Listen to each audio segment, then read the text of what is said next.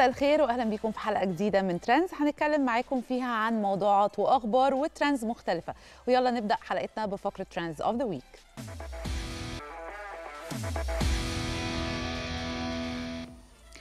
أول ترند معانا النهارده هو خبر طلاق هادي الباجوري من زوجته ياسمين رئيس وده خلى اسمهم يتصدر الترند خصوصا إنهم كانوا بيعملوا سوا مسرحية أحفاد ريا وسكينة واللي اتعرضت قبل أسبوعين في موسم الرياض.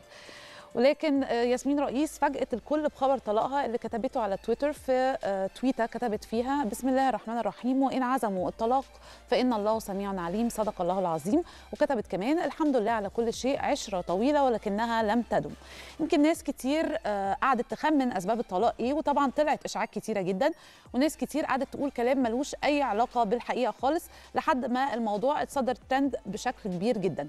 كمان اللي عمل حالة الجدل بين الناس هو إن زواج ياسمين والباجوري استمر لاكثر من 12 سنة. والحقيقة زي ما عرفنا هي إن ياسمين وهادي بينهم خلافات من فترة كبيرة جدا. وبالتحديد بعد العرض الأول لفيلم ليلة قمر 14 في واحد من المهرجانات الفنية.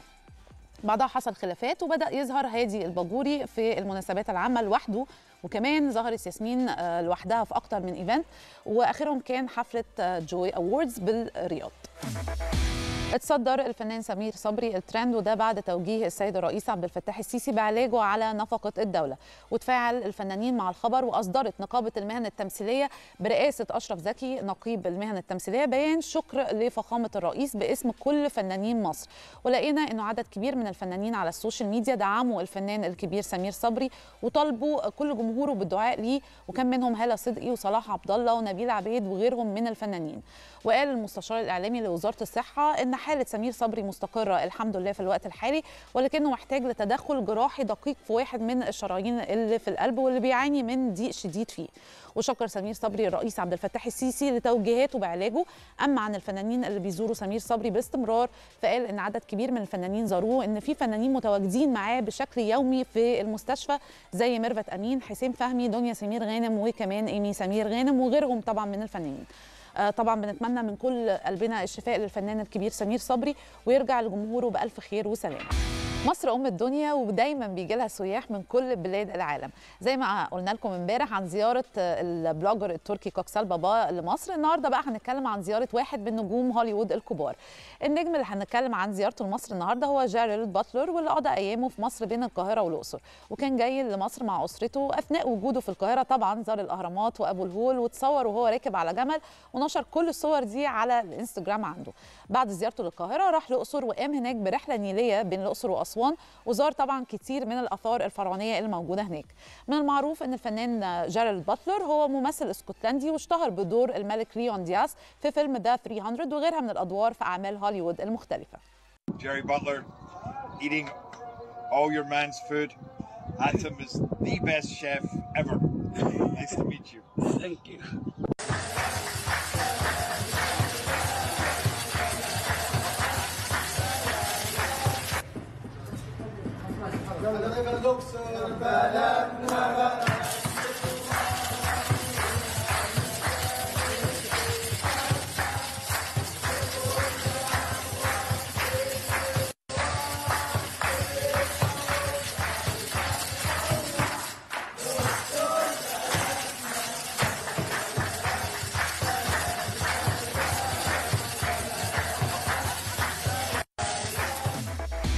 وبكده خلصت فقرة trends of the week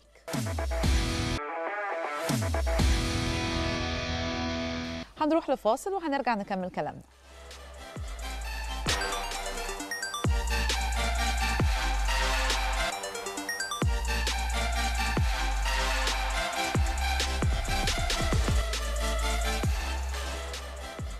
في الفترة الأخيرة انتشر موضوع كده مقلق شوية. في الحقيقة هو مقلق جدا. الموضوع ده هو إننا لقينا عدد كبير من الدكاترة اللي موجودين على السوشيال ميديا بيقولوا إن هم بيخسسوا الناس بحقنة كده فيها مواصفات سحرية على حسب كلامهم. بيقولوا إيه بقى؟ بيقولوا إن الحقنة دي بتوقف الشهية وبتساعد على الحرق بشكل كبير جدا. مش بس كده دي كمان ممكن تخليك تنزل وزنك حوالي آه، 20 كيلو في الشهر. طيب الكلام ده غريب جدا. ولما دورنا في الموضوع لقينا إن الحقنة اللي بيتكلموا عليها دي حقنة خاصة بمرض السكر. الأزمة الكبيرة بقى في الموضوع إن الناس بتاخدها مع نفسها كده لما بقوا يسمعوا عنها.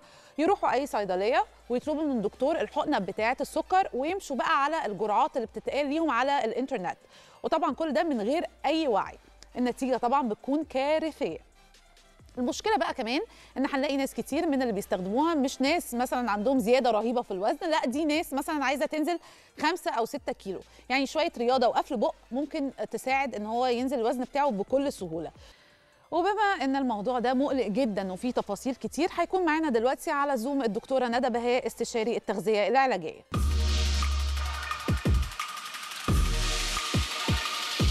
إزيك يا دكتور؟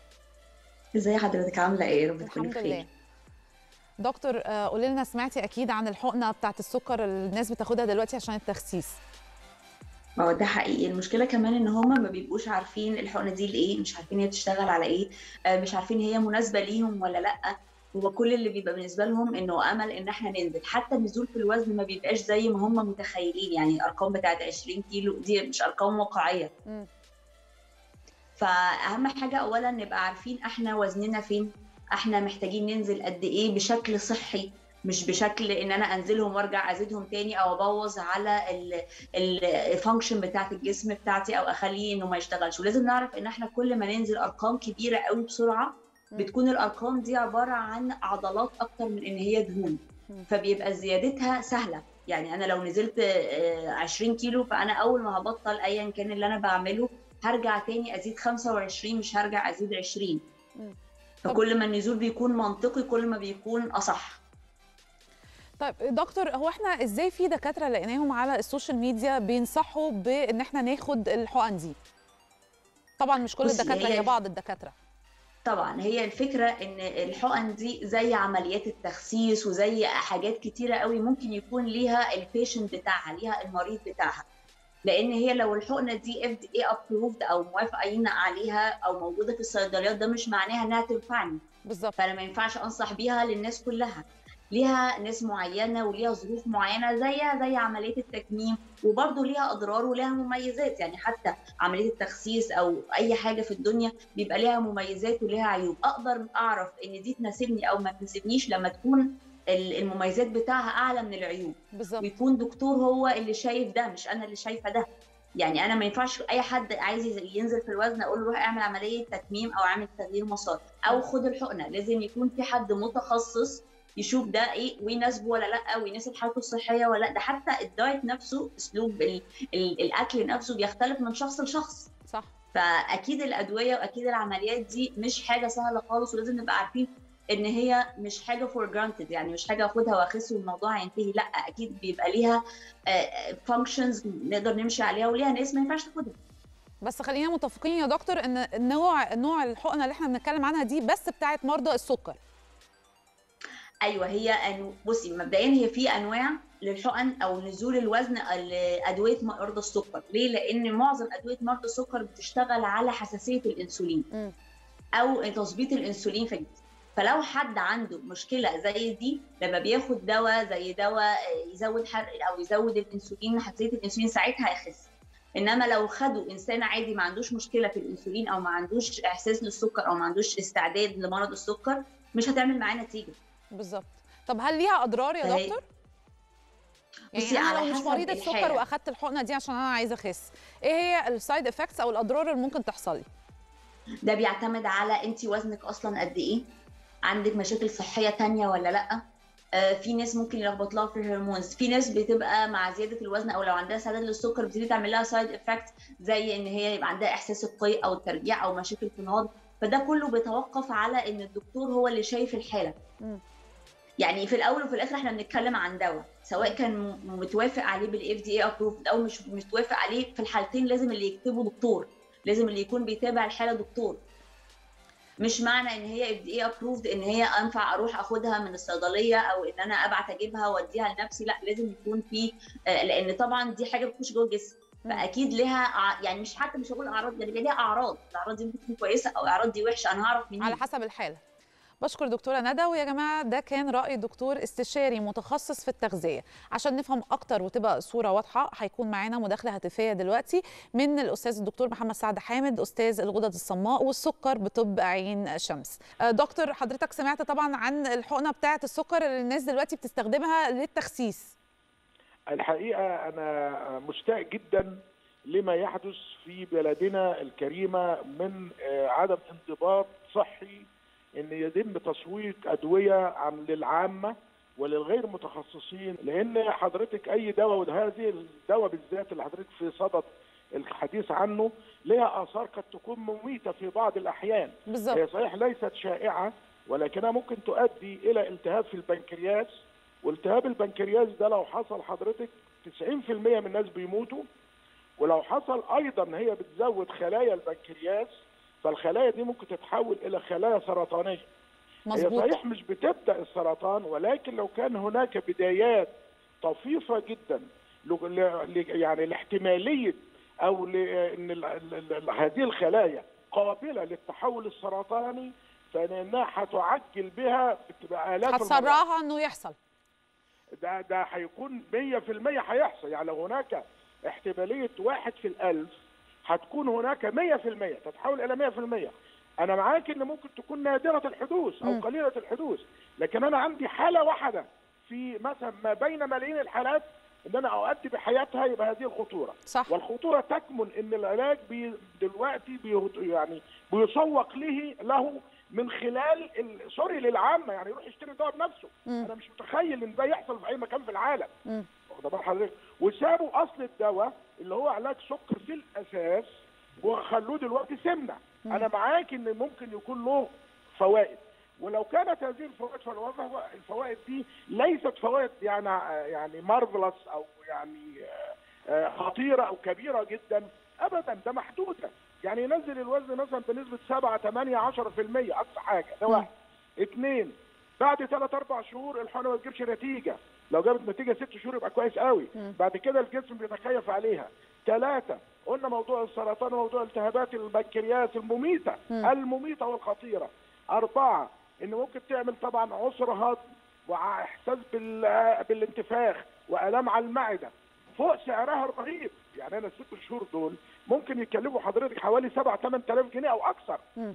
وال- وبعدين الجرعة اللي بتستعمل للتخسيس حضرتك ثلاث إلى خمس اضعاف جرعة السكر آه دي يعني جرعة تانية كمان أوكي لا مضاعفة يا فندم مم. يعني أستاذة ريهام لو الجرعة دي حضرتك إحنا بندي للمريض السكر واحد.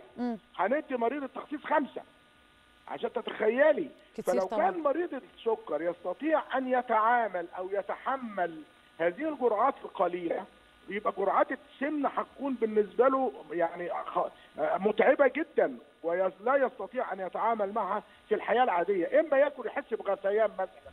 يعني إيه الميزة في دي؟ ثم بقى هناك بدائل طلعت حضرتك. برضه بعضها أدوية سكر وبعضها غير أدوية سكر. وأكثر امانا من هذه الحقن. يعني أنا بدل ما أمشي على في دواء طلع بالفم برضه علاج سكر وبيخسس وخلال ثلاث أربع شهور. وربع السعر تقريبا أو 20% من السعر. واخد بال حضرتك وممكن السيطرة عليه هذا الدواء وآثاره الجانبية قد تكون منعدمة. وقد يكون له فوائد أخرى على القلب وعلى الكلى. ويخفض السكر وبقول لحضرتك يعني ربع السعر أو خمسة وبالفم. هناك برضو دواء قديم قوي من حوالي 70 50 سنة حضرتك ثمنه 7 8 جنيه لو أنا أخدته تقريبا يجيب نفس النتيجة وبرضه يظبط السكر ويقلل الوزن ويسد النفس ويقلل الامتصاص يعني لما بنستعمله إحنا في مرضى السكر هذه الحقنة اللي حضرتك بتتكلمي عليها أو الحقن. اللي هم بيقولوها غلط إنها إنسولين ده كلام مش إنسولين خالص. هو نوع ثاني خالص بيشتغل على البنكرياس مباشرة. ولذلك هنا لو البنكرياس فيه التهاب الالتهاب هيزيد طبعا. احتمالية وزي ما قلت قبل كده احتمالية السرطان واردة مش مش واردة ولا سيما للناس وعلى فكرة من أصعب السرطانات الموجودة ربنا يعافي جميع الناس سرطان البنكرياس. من أصعب الالتهابات اللي موجودة هو التهاب البنكرياس الحاد اللي بيقوم منه مش أكتر يعني اللي بيقوم من هذا السرطان لا قدر الله يخف منه واحد في العشرة. فتخيلي لأنه بيكون البنكرياس مكانه موجود في ظهر البطن من فوق ومتشعب في كل حتة فحضرتك هنا ما يجبش إن إحنا نغامر بهذا الأسلوب. طبعا. بشكر الأستاذ الدكتور محمد سعد حامد أستاذ الغدد الصماء والسكر بطب عين شمس وبكده نكون خلصنا فقرة سكوب.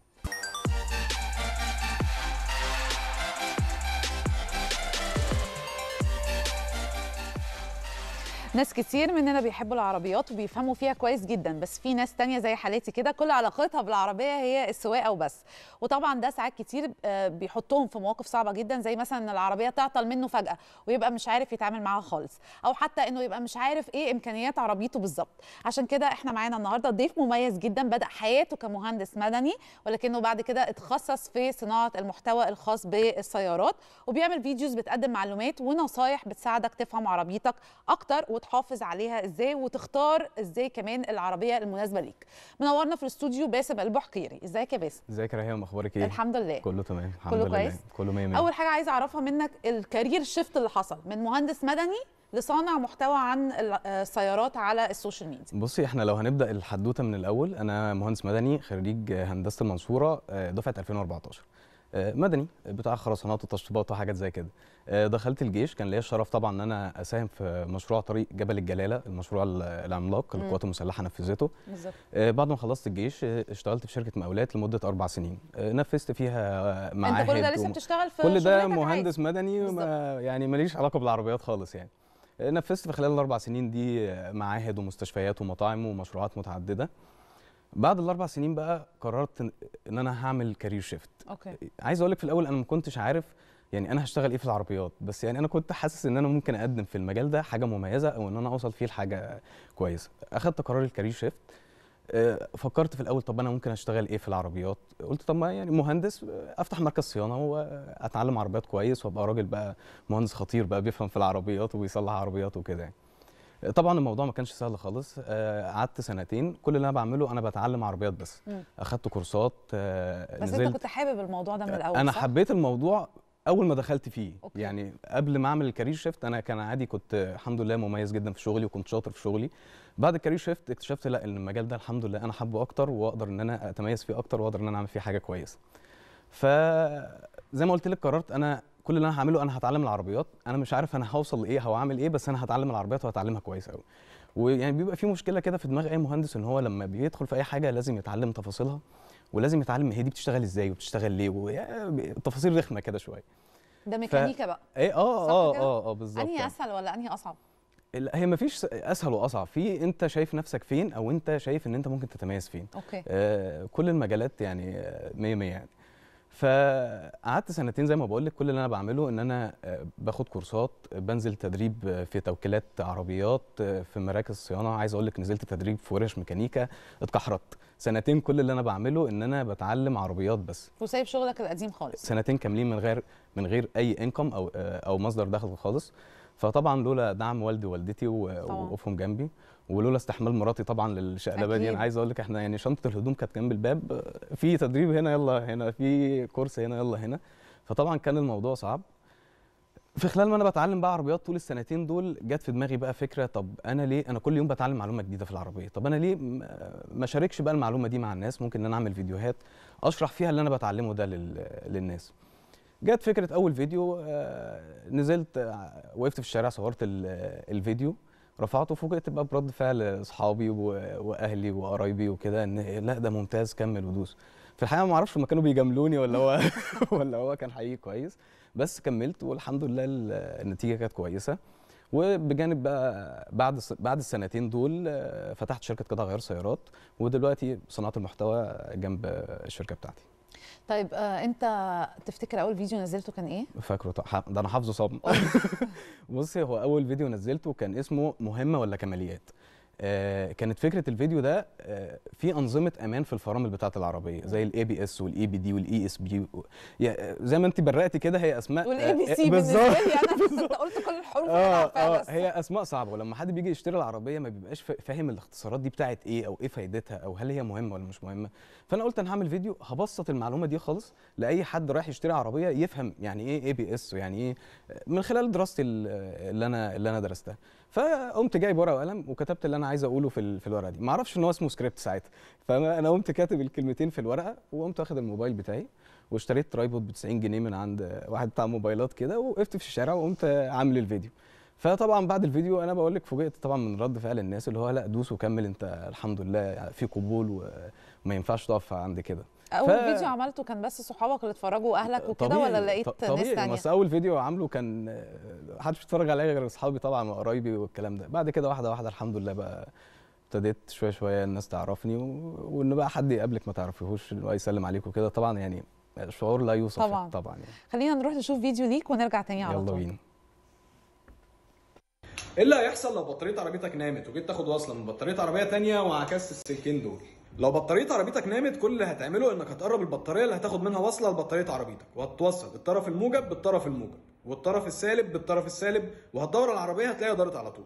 لو عكست وصلت الموجب بالسالب كده أنت عملت قفلة في الدايرة وهيحصل حاجة من الاثنين يا إما control عربيتك هيتحرق يا إما لو ربنا بيحبك الفيوز العمومي هيضرب. وطبعا في الحالتين أنت كده بدل ما تكحلها عميتها خالص.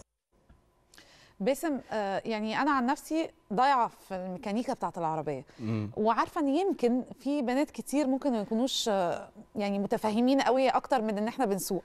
آه إيه النصيحة الأولانية اللي دايما تديها لأي بنت قبل ما تسوق؟ النصيحة الأولانية بصي أنا عامل فيديو أصلا يعني أنا عشان اللي أنت قلتيه ده كله أنا أثناء فترة تدريبي في الصيانة وال- ومراكز الخدمة والتوكيلات وهكذا آه، كانت بتجيلنا حاجات كتير أعطال كبيرة جدا سببها اللي راكب العربية ما يعرفش معلومة صغيرة جدا مم. يعني في لمبة نورت عنده في في التابلو هو ما يعرفش اللمبة دي بتاعت إيه فتطلع بتاعت الحرارة العربية تولع ففي لمبة إن مفيش مية في كده فأنا عملت فيديو اسمه آه، فيديو عربيات للبنات فقط مم. الفيديو ده أنا عملت فيه سبع نصايح كده ما ينفعش حد يبقى بيسوق عربية ما يعرفهمش ده بس. معلش هو في ولاد برضو مش عارفة لا هو ما بصي تبقاش لا لا. لا هي مش عنصرية مش عنصرية والله بس هو دايما مشاكل الولاد في العربيات بتبقى أكبر من كده بكتير مم. يعني الجنط الايه والمش عارف إيه. آه، آه. وأنا عايز بقى أركب مكنة هورس باور أعلى. يعني مشاكل الأولاد في العربيات دايما بتبقى معقدة أكبر من كده. وعطلهم طبعا بتبقى أكتر من كده بكتير يعني.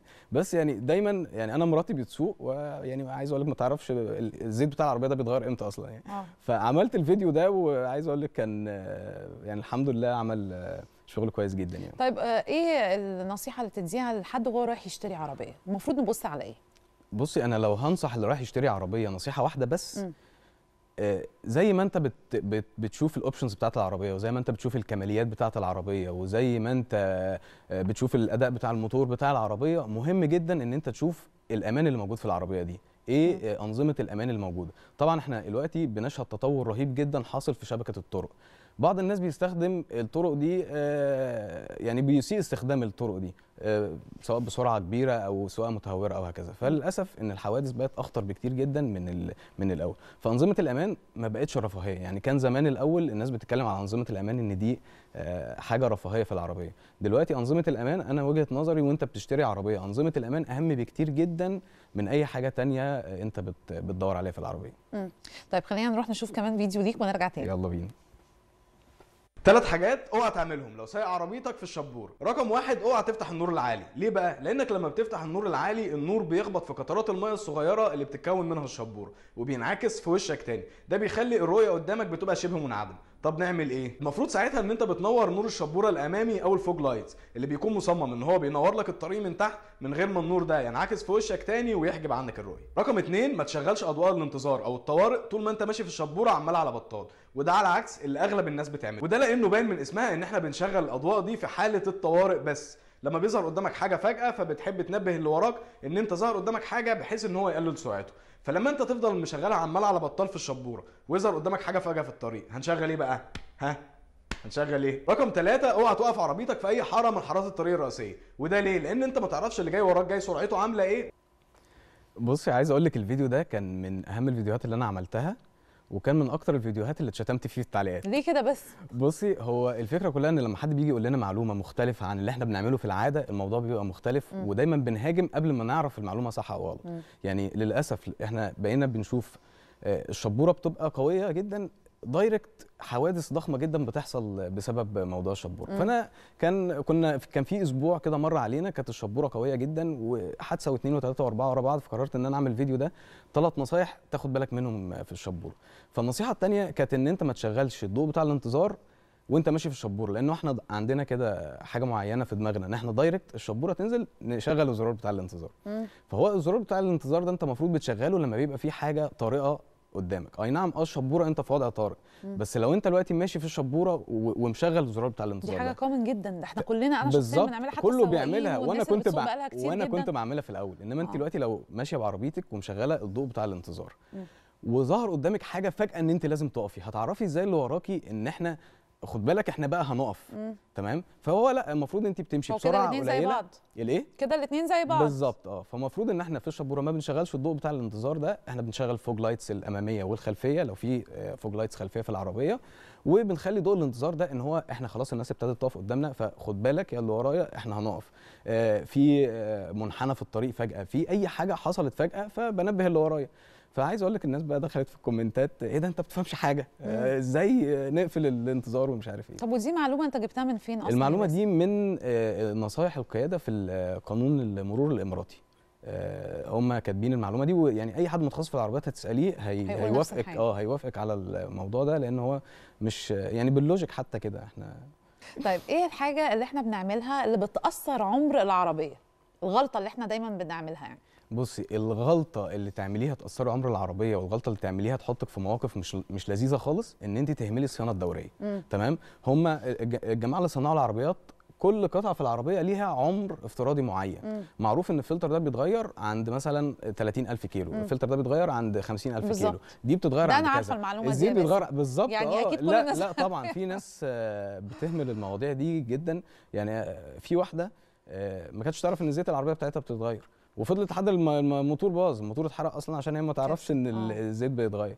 آه لما عملت الفيديو بتاع فلتر البنزين ده أكتر comments جات لي هو بيتغير كل قد إيه فهو الناس هي مش عارفة ده بيتغير كل قد إيه سير صغير في العربية انت هتغيره مش. مش هيكلفك أي حاجة خالص. ده لو اتقطع ممكن يكلفك إن المكنة بتاعت العربية كلها. تبوظ وتكلف مبالغ كبيرة مم. فطول ما انت محافظ على الصيانة الدورية بتاعت عربيتك هتبقى فله شمعة منوره طب يا باسم ما هو الناس ساعات بتفكر إن هو إيه مثلا أنا مش عايزة أودي الصيانة عشان طبعا مراكز الصيانة بتبقى غالية فبيقول لك مثلا إيه أعملها في البنزينة وأغير أنا الزيت وأغير ال- المية أو مركز خدمة أو حاجة من الحاجات دي تفتكر ده برضو okay ولا ده كده برضو بيبوظ العربية على ال long term لا بصي هو أكتر حاجة ممكن آه، تضيع العربية إن أنت توديها لحد مش متخصص في ال brand ده إن هو يعني يعمل لك فيها البنزينة ما. ينفعش نغير فيها زيت من مش البنزينة ما هو البنزينة دي مين بيغير في في البنزينة أول حاجة إحنا طول ما إحنا في فترة الضمان آه، ملتزمين إن إحنا بنغير مع أكيد. التوكيل بتاع ده العربيه ببلاش ده حلو آه ده. بز... لا بفلوس مش ببلاش بس ملتزمين إن إحنا بنغير ال... ال...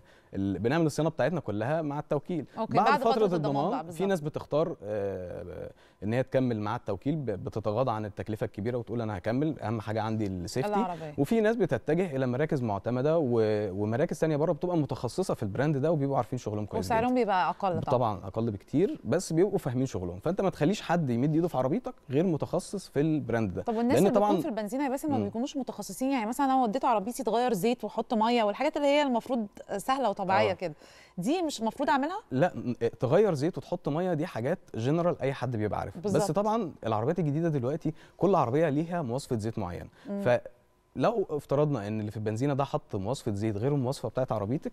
العربية كل سنة وأنت طيب فيعني أنا زي ما بقول لك الأفضل بجد حتى- كده على آه- طول في آه السريع طبعاً- كده، مفيش أي في مشكلة. السريع على طول آه. موتور كده على طول بقى شوفي بقى موتور عربيتك بكام ويتغير بس يعني. دي غلطة إحنا كلنا بنعملها بصراحة يعني ساعات كتير الواحد يقول لك أنا لسه هحجز ال- التوكيل وبياخدوا مني أرقام كتيرة مم. جدا عشان العربية فأنا هوديها طيب ما في بنزينات في بنزينات أرخص وأسرع و... يعني كلنا بنعمل كده في بصراحة في بنزينات متخصصة وفي بنزينات عارفة كل عربية بيتحط لها إيه وكده أنا مش مش بقول بنزينات أصل البنزينات دي كلمة جنرال قوي تمام؟ في ناس متخصصة وعارفه الموتور ده بيتحط له إيه والموتور ده بيتحط له مواصفة إيه لأن موضوع الزيت ده موضوع خطير جدا يعني. يعني لو مثلا أنا. الزيت مثلا آه، 3000 مم. وحد حط لي 5000 كده حاجة تبوظ؟ هو المواصفة بقى ما بقتش بالسهولة بتاعت 3000 و5000 و10000 أمال. ال- المواصفة بتاعت الزيت ال 3000 ده إيه؟ والمواصفة بتاعت الزيت ال 10000 ده إيه؟ يعني الموضوع ملوش علاقة بعدد الكيلوات بس اللزوجة بتاعت الزيت آه زيت تخليقي يعني الموضوع بقى أكبر بكتير قوي. طبعاً. كل عربية نازل ليها مواصفة زيت معينة هي دي اللي الموتور آه بيشتغل فيها أحسن حاجة. هنغير المواصفة دي أو هنالف بقى من دماغنا هو ده بقى اللي بيعمل المشاكل الكبيرة اللي إحنا بنواجهها يعني. طب إيه اللي بيخلي استهلاك البنزين عالي في العربية؟ بصي أول حاجة آه، لو إحنا ما عملناش الصيانة الدورية ده بي آه، بيزود استهلاك البنزين. بعض الحاجات إن هي تقعد أكتر من عمرها في العربية ده بيزود استهلاك البنزين.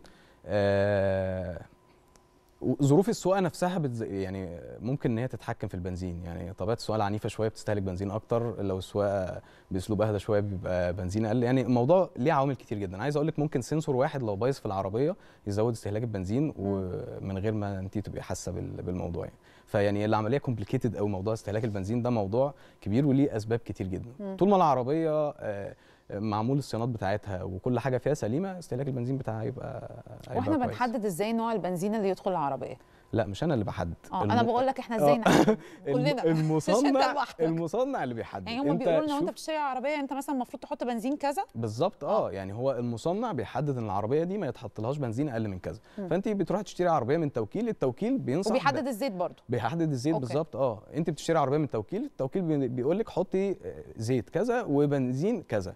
لذلك أنت لو حطيتي بنزين أقل من البنزين اللي هم بيوصوا بيه في التوكيل اللي ورحت لهم ورحت لهم بالعربية في التوكيل فيها مصيبة زرقاء يقول لك إحنا مالناش دعوة مالناش دعوة. إحنا وصينا إن إحنا آه، بنحط بنزين 95 مم. أنت حطيت 92 حصل مشكلة دي مش آه، مش مشكلتنا إحنا بقى مم. فيعني مش أنا اللي اوصي التوكيل بتاع العربية هو اللي يوصي إيه اللي يتحط لها يعني. لما بنيجي نشتري عربية وأنا لسه مثلا إيه مبتدئة سواقة. المفروض أتعلم على عربية قديمة الأول مثلا ومانيوال زي ما بيقولوا لازم تبتدي الأول بالمانيوال بعدين تبتدي بالأوتوماتيك وأبقى عارفة كله ولا لأ والله بصي يعني آه، ما بقاش زي زمان إن أنت لازم إن أنت تتعلم على عربيه manual آه، عشان تبقى أنت بقى خلاص تحترف ال- السواقة وبعد كده تشتري عربية اوتوماتيك أو كده بس يعني by logic كده إن إحنا لما نيجي نتعلم على العربية نجيب عربية رخيصة شوية. آه، بحيث إن الموضوع ما يبقاش تتبهدل كده ما نبقاش بالظبط مقهورين يعني من جوانا أيوه. بالظبط آه خصوصا طبعا إن مصاريف آه، قطع الغيار ومصاريف. الصيانه بتاعت العربية بقت كبيرة ما بقتش زي زمان فاحنا بنتعلم لسه وبنتدرب فخلينا في في الحنين كده و... انما موضوع المانيوال ده لا مش لازم طبعا اللي يسوق يسوق مانيوال يعني. طب انت بقى يا باسم بتودي عربيتك الصيانة ولا بتصلحها لنفسك؟ هو بصي أنا أنا دلوقتي حاليا أنا مش شغال مهندس صيانة فأنا لما باجي أصلح عربيتي طبعا بوديها لأي حد من أصحابي مهندسين الصيانة بيصلحها لي ببلاش. أكيد يا بختك. بالظبط.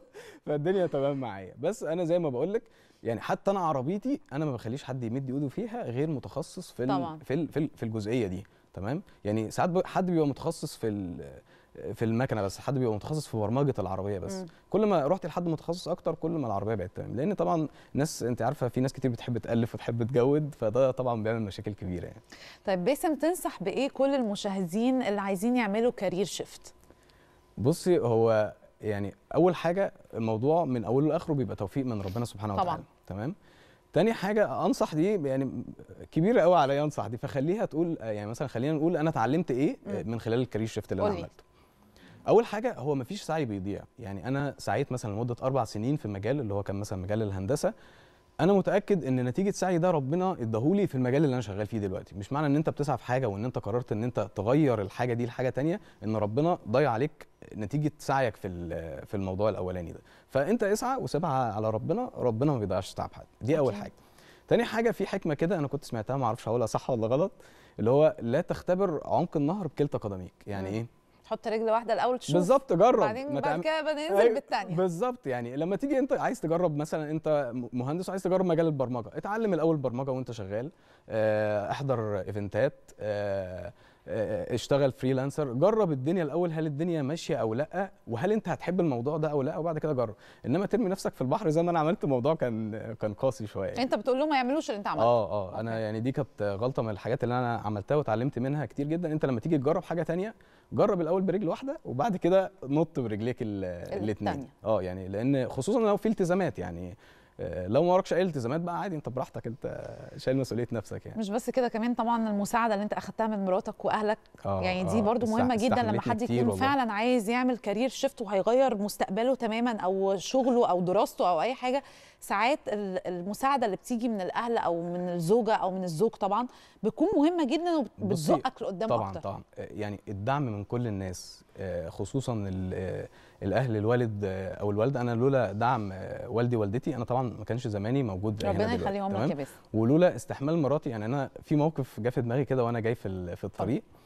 آه، كان في مرة عندي كورس تمام؟ وكنت آه، كان لسه كنت كنا مخلفين عمر كان عنده أقل من سنة. فهو الكورس ده المفروض ساعة.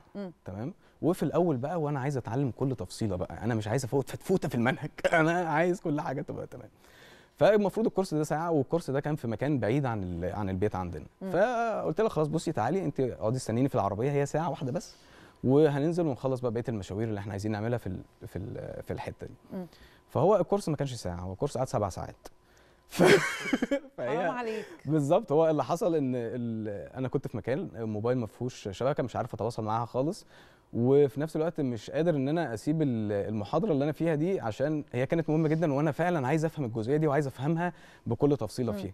فهي طبعا أنا لما نزلت أنا يعني عرفت منها إيه؟ هي فاكراني اتخطفت أصلا. بتقول لي مش عارفه؟ توصل لك آه آه وهي كانت هي وعمر بقى في العربية لوحدهم وما كانتش بتعرف تسوق ساعتها فما كانتش عارفة حتى تتحرك. فيعني الحمد لله. لا وقفت جنبك. آه لا لا الحمد لله طبعا يعني.